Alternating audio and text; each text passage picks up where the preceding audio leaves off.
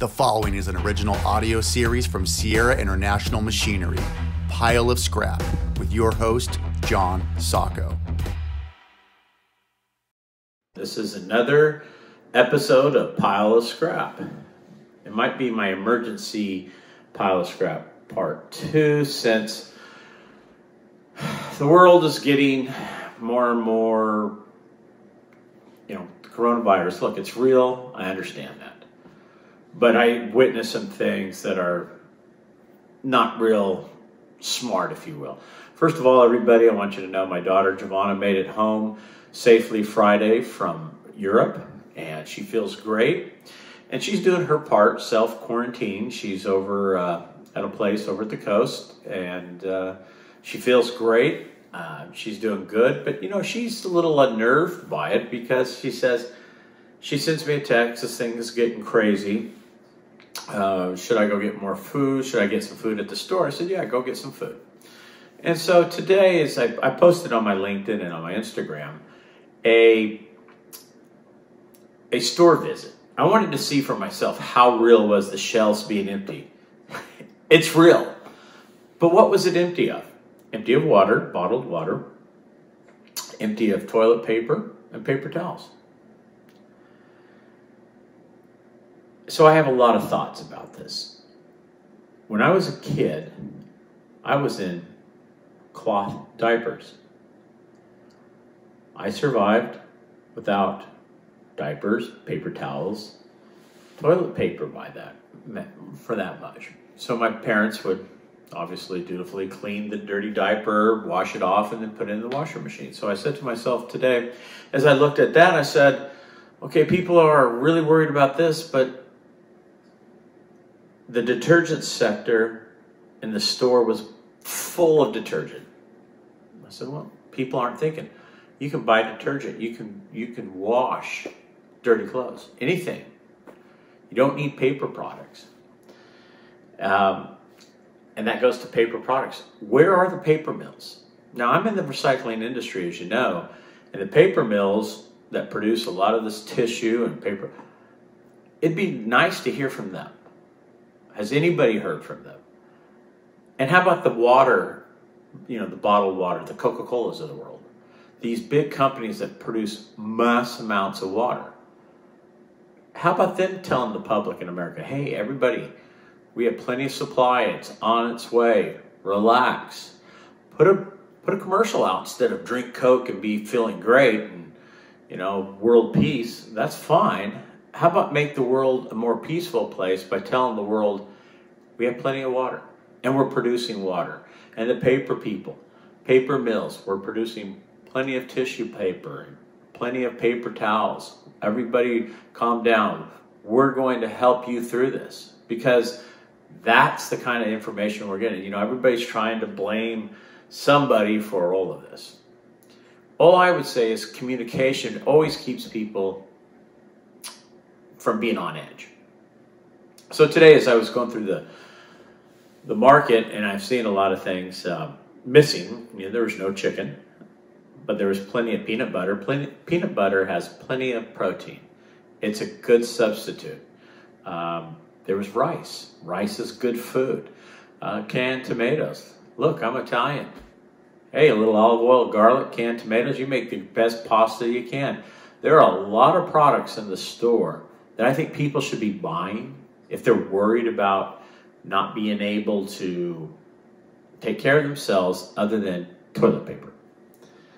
And I'm not putting them down because they have fear. And, you know, look, there, this is times when there's a lot of fear, but calm down, people. Open your minds up. What do you really need for food products? What, you know, sustainability is the key to surviving this. Okay, a little Lysol spray and wipes. You know, I'm good with that because you know what? You spray down the door handles and all that. I think that's that's smart. That's good business. Keep your hands washed. That's good personal hygiene. This is a very important part of what we do to stay healthy, to stay ahead of this. And uh, you know, I have an elderly mom. She's uh, uh, going to be 89 years old in April. Uh, she's staying in. She's smart. She gets it. You know, she's. Um, I don't want to say bad health, but you know, I think this would be very, very, very grave if she she got it. So she's doing her part. So I think you see some of this mass hysteria. Costco on Friday, my wife drove by and said there's a line all the way around. People fighting. That's not American. That's not worldly. Fighting over these products. If everybody would love thy neighbor and work with their neighbors and not hoard gobs and gobs and gobs of things, we'll get through this together. This will pass. And part of this, for me, you know, look, there's a lot, of uncertainty. I have it as a business owner. Uh, how much is the world going to slow down? You know, stock markets. Here it is Sunday. Stock market futures already down a thousand points. But the world really has to stop. We're not going to stop. Eventually, we're going to get through this. H1N1 virus um, killed five, 576,000 people worldwide. Um, will this get to that level? Maybe, maybe not. Where was there was no mass hysteria then, and I think that's important. Calm down. I'm going to say it a hundred times. Use your head. Calm down. What does your family really need? Your family needs parents to be calm so their kids can be calm. Educate them, talk to them, have an open discussion of what is going on. Why is this this flu bug so bad from a respiratory standpoint? You know, educate them as well. So I think everybody gets it. But again, I, I want I want to put it out there to the Coca Colas, to the bottling people. You know, you use plastic bottles. That's great for the recycling industry. Great. Put the message out that you have plenty of water. All the water people, all the paper makers, put it out. There's plenty of product on their way. I know there's plenty of chicken farms. We're not going to run low on chicken. We're not going to run low on beef. We're not going to run low on food. But if things were to shut down, make sure you have a little something in your cupboards if you can afford it. My, my son's school uh, shut down two weeks. They're going online high school. This ought to be an interesting experience for my kid. So you know, he plays golf. Uh, he's a high school golfer. And he's a pretty good golfer. And he's wondering, well, they canceled the golf tournaments. He's outdoors, there's no crowds. And I guess you have to do it because everything else is canceled. So here the kids are out of school for two weeks, universities across America. It's not like everybody's not getting together still. So maybe it's not a big classroom, but there are gatherings all over the place. So I think eventually common sense will prevail as we see as we work our way through it. Again, I'm not playing this down. I understand it's very serious. But if you're outside, isn't that the best place to be in the fresh air?